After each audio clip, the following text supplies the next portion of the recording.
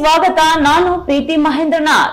ಸದಾ ಒಂದಿಲ್ಲೊಂದು ಕಿರಿಕ್ ಸೃಷ್ಟಿಸುತ್ತಾ ಸುತ್ತಮುತ್ತಲಿನ ದೇಶಗಳ ಜೊತೆ ತಗಾದೆ ತೆಗೆಯುತ್ತಿರುವ ಚೀನಾದ ಹೊಸ ಮ್ಯಾಪ್ ವಿರುದ್ಧ ಭಾರತದ ವಿರೋಧಕ್ಕೆ ಮತ್ತಷ್ಟು ದೇಶಗಳ ಬೆಂಬಲ ಸಿಕ್ಕಿದೆ. ತೈವಾನ್, ವಿಯೆಟ್ನಾಂ, ಮಲೇಷ್ಯಾ, ಬ್ರೂನಿ ಮತ್ತು ತೈವಾನ್ ದೇಶಗಳು ಚೀನಾದ ನಡೆಯನ್ನು ಖಂಡಿಸಿವೆ.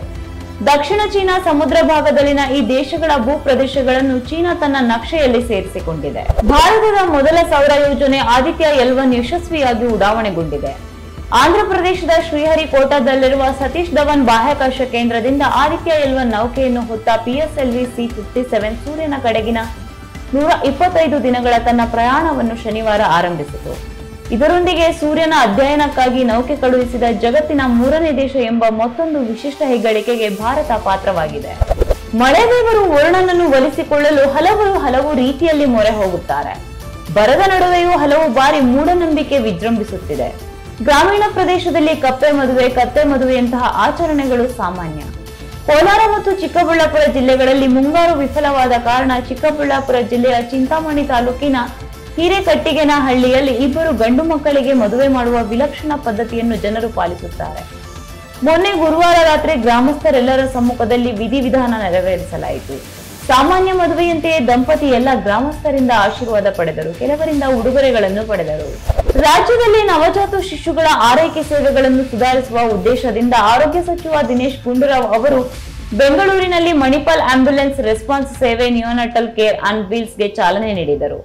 ಬೆಂಗಳೂರು ಮತ್ತು ನಗರದ ಹೊರವಲಯದಲ್ಲಿ ನವಜಾತ ಶಿಶುಗಳ ಆರೈಕೆಗಾಗಿ ಈ ಆಂಬ್ಯುಲೆನ್ಸ್ ಸೇವೆಗಳನ್ನು ಪ್ರಾರಂಭಿಸಲಾಗಿದೆ. ಇತ್ತೀಚೆಗೆ ಅಜರ್ಬೈಜಾನ್ನ ಬಾಕುವಿನಲ್ಲಿ ನಡೆದ ಫೀಡೆ ಚೆಸ್ ವಿಶ್ವಕಪ್ನಲ್ಲಿ ರನ್ನರ್ ಅಪ್ ಆಗಿರುವ ಗ್ರ್ಯಾಂಡ್ ಮಾಸ್ಟರ್ ಆರ್ ಪ್ರಜ್ಞಾನಂದ್ ಅವರು ದೆಹಲಿಯಲ್ಲಿ ಪ್ರಧಾನಿ ನರೇಂದ್ರ ಮೋದಿ ಅವರನ್ನು ಭೇಟಿ ಮಾಡಿದ್ದಾರೆ. ದೆಹಲಿಯ ಲೋಕ ಕಲ್ಯಾಣ ಮಾರ್ಗದಲ್ಲಿರುವ ಪ್ರಧಾನಿ ನಿವಾಸಕ್ಕೆ ಕುಟುಂಬ ಸಮೇತ ಆಗಮಿಸಿದ ಪ್ರಜ್ಞಾನಂದ್ ಅವರು ಮೋದಿ ಅವರೊಂದಿಗೆ ಕೆಲವು ಫೋಟೋಗಳನ್ನು ಕ್ಲಿಕ್ಕಿಸಿಕೊಂಡಿದ್ದಾರೆ. ಕಾವೇರಿ ನೀರಿನ ವಿಚಾರದಲ್ಲಿ ಜಲಸಂಪನ್ಮೂಲ ಸಚಿವ ಹಾಗೂ ಡಿಸಿಎಂ ಡಿಕೆ ಶಿವಕುಮಾರ್ ವಿರುದ್ಧ ಮಾಜಿ ಪ್ರಧಾನಿ ಎಚ್ ಡಿ ದೇವೇಗೌಡ ಬಹಿರಂಗ ಅಸಮಾಧಾನ ವ್ಯಕ್ತಪಡಿಸಿದ್ದಾರೆ. ಕಾವೇರಿ ವಿಚಾರದಲ್ಲಿ ಒಗ್ಗಟ್ಟಾಗಿ ಹೋರಾಟ ಮಾಡಬೇಕು. ನೀರಾವರಿಗೆ ಸಂಬಂಧಪಟ್ಟ ಮಂತ್ರಿಗಳು ಒಂದೊಂದು ಸಾರಿ ಒಂದೊಂದು ಹೇಳಿಕೆಗಳನ್ನು ಕೊಡ್ತಾರೆ. ಇದು ಬಹಳ ಕಷ್ಟ. ಮಂತ್ರಿಗಳೇ ಹೀಗೆ ಹೇಳಿದರೆ ಏನು ಹೇಳೋದು ಎಂದು ಕಿಡಿಕಾರಿದರು. ಸರಕು ಮತ್ತು ಸೇವಾ ತೆರಿಗೆ ಸಂಗ್ರಹದಲ್ಲಿ ಕರ್ನಾಟಕ ಮುಂಚೂಣಿಯಲ್ಲಿದ್ದು ಮಹಾರಾಷ್ಟ್ರ ಹೊರತುಪಡಿಸಿದರೆ ಕರ್ನಾಟಕ ಎರಡನೇ ಸ್ಥಾನದಲ್ಲಿದೆ.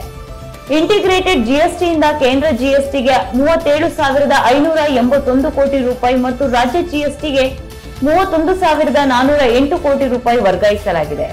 ಈ ಹಂಚಿಕೆಯ ಬಳಿಕ ಆಗಸ್ಟ್ ತಿಂಗಳಿನಲ್ಲಿ ಕೇಂದ್ರ ಮತ್ತು ರಾಜ್ಯಗಳ ಒಟ್ಟು ಆದಾಯ ಕ್ರಮವಾಗಿ ಅರವತ್ತೈದು ಸಾವಿರದ ಒಂಬೈನೂರ ಒಂಬತ್ತು ಕೋಟಿ ರೂಪಾಯಿ ಮತ್ತು ಅರವತ್ತೇಳು ಸಾವಿರದ ಇನ್ನೂರ ಎರಡು ಕೋಟಿ ರೂಪಾಯಿಗಳಾಗಿವೆ. ಪ್ರಭಾಸ್ ಮತ್ತು ಪ್ರಶಾಂತ್ ನೀಲ್ ಕಾಂಬಿನೇಷನ್ನ ಸಲಾರ್ ಸಿನಿಮಾ ಸೆಪ್ಟೆಂಬರ್ ಇಪ್ಪತ್ತೆಂಟರಂದು ರಿಲೀಸ್ ಆಗಲಿದೆ ಎಂದು ಸ್ವತಃ ಚಿತ್ರತಂಡವೇ ಹೇಳಿಕೊಂಡಿತ್ತು. ಬಿಡುಗಡೆಯ ದಿನಾಂಕವನ್ನು ನಿಗದಿ ಮಾಡಿಕೊಂಡು ಕೆಲಸ ಆರಂಭಿಸಿತ್ತು. ಆದರೆ ಇದೀಗ ಬಿಡುಗಡೆ ಕುರಿತು ನಾನಾ ಸುದ್ದಿಗಳು ಹೊರಬೀಳುತ್ತಿವೆ. ಅಂದುಕೊಂಡ ದಿನಾಂಕದಂದು ಸಲಾರ್ ರಿಲೀಸ್ ಆಗುತ್ತಿಲ್ಲ ಎನ್ನುವ ಮಾತುಗಳು ಹರಿದಾಡುತ್ತಿದ್ದು, ಈ ಬಗ್ಗೆ ತರುಣ್ ಆದರ್ಶ್ ಸ್ಪಷ್ಟನೆ ನೀಡಿ, ಸಲಾರ್ ಮುಂದೆ ಹೋಗಿರುವುದನ್ನು ಸ್ಪಷ್ಟಪಡಿಸಿದ್ದಾರೆ. ಕಿಚ್ಚ ಸುದೀಪ್ ಹುಟ್ಟುಹಬ್ಬದ ದಿನದಂದು ಅಚ್ಚರಿಯ ಸುದ್ದಿ ಕೊಟ್ಟು ಕಿಚ್ಚನ ಅಭಿಮಾನಿಗಳ ಸಂಭ್ರಮಕ್ಕೆ ಕಾರಣರಾಗಿದ್ದಾರೆ ಖ್ಯಾತ ನಿರ್ದೇಶಕ ಆರ್ ಚಂದ್ರು. ಕಬ್ಜಾ ಟು ಸಿನಿಮಾದ ಕೆಲಸದಲ್ಲಿ ತೊಡಗಿಕೊಂಡಿದ್ದ ಚಂದ್ರು ಏಕಾಏಕಿ ಕಿಚ್ಚನ ಚಿತ್ರಕ್ಕೆ ಕೈ ಹಾಕಿದ್ದಾರೆ. ಜೊತೆಗೆ ಹೆಸರಾಂತ ಕತೆಗಾರ ರಾಜಮೌಳಿ ಅವರ ತಂದೆ ವಿಜಯೇಂದ್ರ ಪ್ರಸಾದ್ ಅವರನ್ನು ತಮ್ಮ ತಂಡದೊಂದಿಗೆ ಸೇರಿಸಿಕೊಂಡಿದ್ದಾರೆ.